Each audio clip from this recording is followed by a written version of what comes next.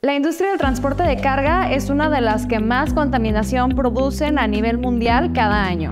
Y es que según datos del Consejo Internacional de Transporte Limpio, tan solo en lo que se refiere al transporte de carga terrestre, se estima que este contribuye con el 16% del total de las emisiones vehiculares de dióxido de carbono y de otro tipo de gases de efecto invernadero a nivel mundial.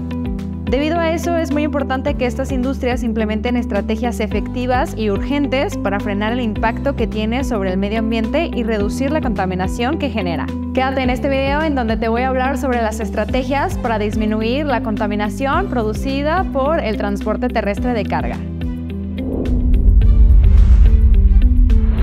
Nada, muchas gracias por estar en un video más de SafeLink Group Latam. Recuerda que si quieres que toquemos algún tema del cual tengas duda, me lo puedes dejar en los comentarios y con mucho gusto estaremos haciendo un video para resolver todas tus dudas. Como te mencioné, el sector del transporte terrestre de carga es uno de los que más contaminan a nivel mundial.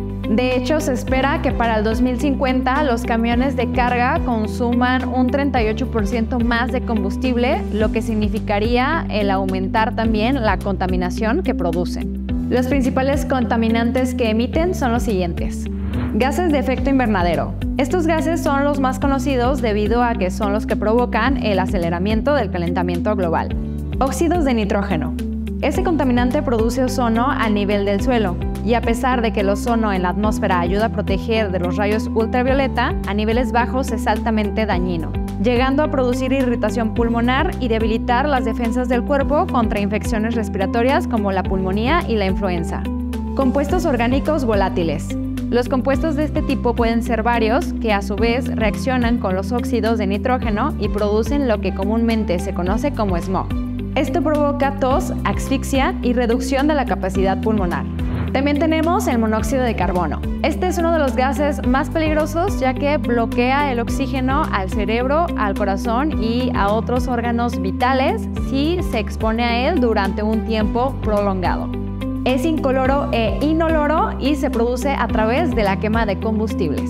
Y por último también tenemos al dióxido de azufre. Este también se genera a partir de la quema de combustibles, específicamente el carbón y el diésel, y este forma pequeñas partículas que son respiradas por el ser humano y que son particularmente peligrosas para las personas asmáticas. Antes de continuar, quiero invitarte a que nos sigas en nuestras redes sociales y que visites nuestro sitio web donde podrás encontrar más información sobre logística y comercio internacional. Te voy a dejar los links en la caja de descripción para que vayas a formar parte de nuestra comunidad. Continuando con el tema, ante una situación tan preocupante como esta, la AEMA ha propuesto una serie de estrategias para disminuir la contaminación que emite este tipo de transporte, entre las cuales se encuentran las siguientes. 1. El uso de vehículos eléctricos que utilicen gas natural, ya que permite disminuir hasta el 80% de las emisiones de dióxido de carbono. En Finlandia se está trabajando en otro tipo de camión que consume hasta un 15% menos de combustible. 2. Combinar las cargas y aprovechar al máximo la capacidad de los contenedores también supone una reducción de la contaminación debido a que se realizarían menos viajes por carretera.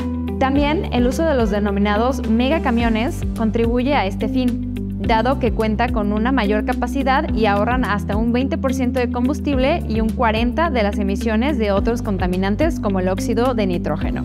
3. Por último, una conducción eficiente, es decir, el mantener una velocidad adecuada y evitar los frenones, supone un ahorro tanto económico como de combustible.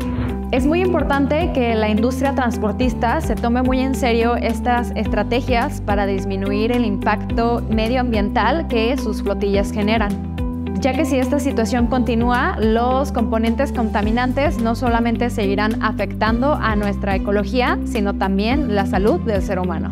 Y bueno, eso ha sido todo por el video de hoy. Espero que haya sido de mucha utilidad para ustedes y recuerda que si quieres cotizar el servicio de monitoreo activo con nosotros, puedes escribirnos al correo que está apareciendo en este momento o bien visitar nuestro sitio web y tener más información sobre este servicio. Y también puedes buscarnos en nuestras redes sociales, en donde nos encuentras como arroba Tracking, ya sea en Facebook, en Instagram o en LinkedIn. Muchas gracias por vernos y nos vemos en el siguiente.